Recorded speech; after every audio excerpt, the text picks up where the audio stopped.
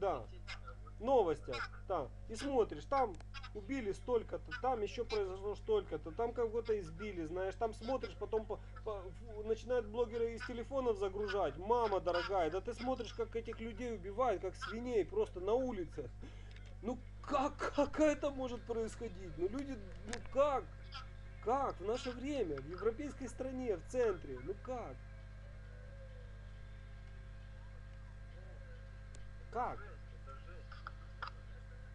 Так вот я к чему веду.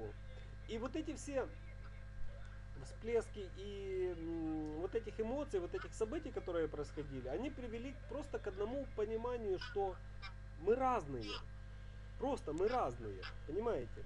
Не братья. Вот, и вот эту тему я к чему веду, что я когда вот это смотрел, я вот бывало, что э, ну, как-то или в чате, или в чем-то, э, списываешься там с людьми и начинаешь какой-то диалог.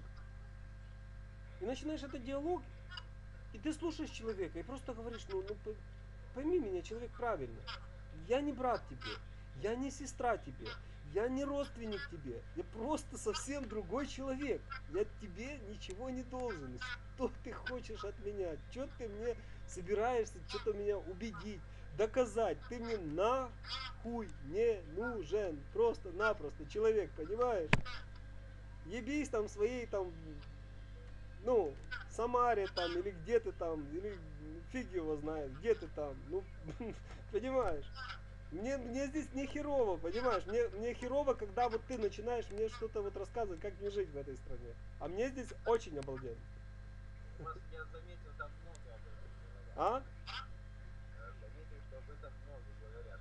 И уже, и вот понимаешь, уже сейчас, вот в блогерской вот такой вот теме, я сейчас заметил, что сейчас вот эта тема именно м, блогеры очень сильно начали говорить. Просто, ну, ну, ну как, простыми словами, поймите.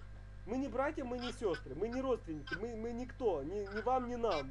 Все, забудьте и отъебитесь. Отъебитесь, просто-напросто.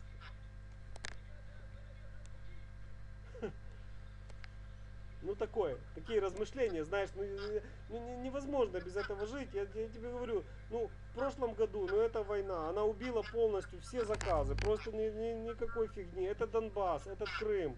Сколько у меня сколько было заказов, у меня работа вообще начиналась там из э, этого самого.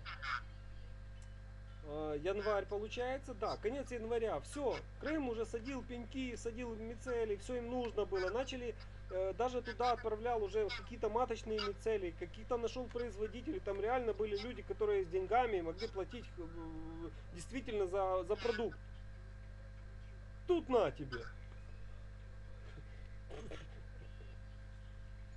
Началось какое-то движение, начались какой-то хер зна шо, блин, людей загнали какое-то стойло, блядь. Ну я тебе серьезно говорю. Ну, ну, ну, это, ну, ну, ну.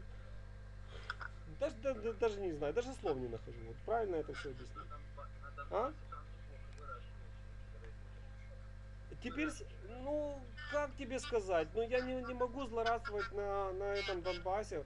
Э, В Донецке, вот где сейчас вот это происходит, все вот эти вещи, там было мощнейшее предприятие, самое огромное вообще в Украине, которое обеспечивало весь сектор сюда и туда. И что?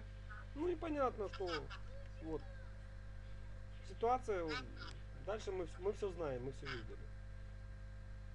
Вот такая вещь. Ну, как сказать, ну не будешь злорадствовать, но э, реально просто по, например, уже по этому сезону, в этом году, ну реально видишь, что э, значит ситуация сильно изменилась.